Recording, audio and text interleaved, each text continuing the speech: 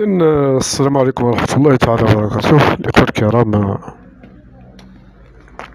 نقلا عن أحد الإخوة. سمى نفسه وحيد في دنيا ظالمة. نقلت قصة حقيقية واقعية لنبي الله أيوب. الناس اليوم راها ما تصبرش. راها عيانة بزاف وما صبراش وحبت تبني الدولة في شهر وشهرين. نساو بلي اليابان الدولة العظمى تبنات في 150 سنة من العزلة. عهد الميجي. 150 سنة. احسبوا 150 سنة. الشعب تاعنا حب في في نهار يبني دولة. حب في نهار يقضي على اللصوص والحرامية والبلطجية. وهذا مستحيل وأن له أن يكون ذلك. إذا نقص لكم القصة من الأول. ما هو صبر أيوب؟ ست دقائق من وقتك إن شاء الله. ما تسرعش. كلمي روحك. ها؟ اسمعني مليح.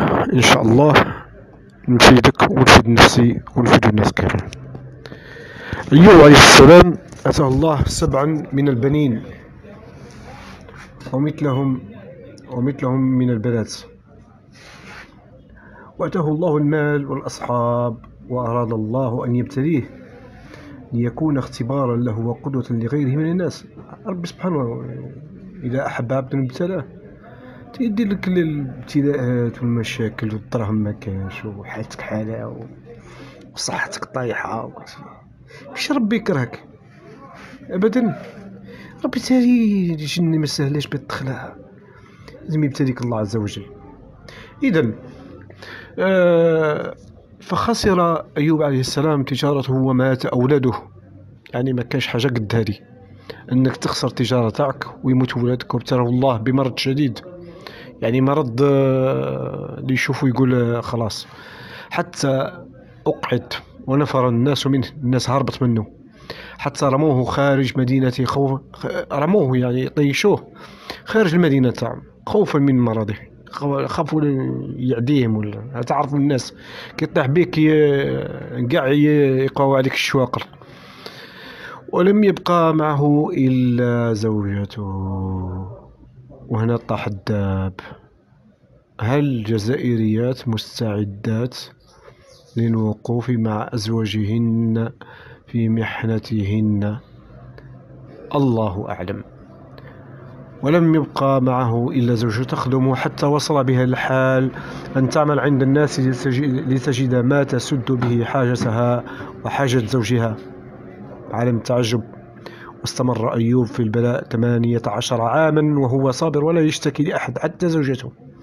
ولما وصل بهم الحال إلى ما وصل إلى ما وصل قالت له زوجته يوما لو دعوت الله ليفرج عنك. ها تعرف الإنسان لازم ينطقوا فقال كم لبثنا في الرخاء؟ قداش قداش وإحنا عايشين في الهنا والرخاء؟ قال ثمانين سنة. قالها ثمانين سنة؟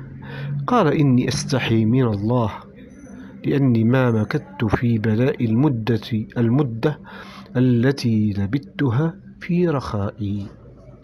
وبعد أيام خاف الناس أن تنقل لهم عدوى زوجها فلم تعد تجد من تعمل لديه. قصت بعض شعرها فباعت ضفيرتها يعني وصلت شوف الدرجة اللي وصلت لها مسكينة. فباعت ضفيرتها لكي تأكلها هي وزوجها وسألها من أين لك هذا؟ ولم تجبه.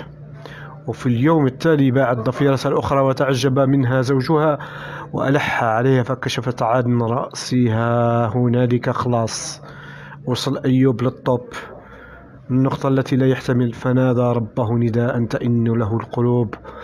استحى من استحى من الله أن يطلب الشفاء. استحى ما حبش يطلب منه الشفاء ولكن آه، وأن يرفع عنه البلاء. فقال كما جاء في القرآن الكريم ربي إني مسني الضر وأنت أرحم الراحمين. فجاء فجاء الأمر من من بيده؟ من هو؟ من هو؟ الله عز وجل. قال له اركض برجلك هذا مغتسل بارد وشراب. فقام صحيحا ورجعت له صحته كما كانت. فجاءت زوجته ولم تعرفه فقالت هل رأيت المريض الذي كان هنا؟ فوالله ما رأيت رجلا أشبه به إلا أنت. عندما كان صحيحا فقال أما عرفتني قالت من أنت؟ قال أنا أيوب يقول ابن عباس آآ آه، آآ آه، ابن عباس ابن عم النبي صلى الله عليه وسلم وأحفظ الناس بكتاب الله تعالى وسنته لم يكرمه الله فهو فقط بل أكرم زوجته. علاش؟ لأن هي الوحيدة اللي وقفت معه. زوجته أيضا التي صبرت معه أثناء هذا البلاء فرجعها فرجعها الله شابة وولدت لأيوب عليه السلام ستة وعشرون ولد من غير الإناث. يقول سبحانه وتعالى وآتيناه أهله ومثلهم معهم. كلما فاض حملك يا أخي. تذكر صبر أيوب يا أخي العزيز. واعلم أن صبرك نقطة من بحر أيوب. نقطة من بحر أيوب. والله لا نقطة فقط. بارك الله فيكم الإخوان. ولا تنسونا بالدعاء. وإذا كان حبيتوا تزيدوا في الاشتراك. ما نقولكمش لا لا جزاكم الله خيرا.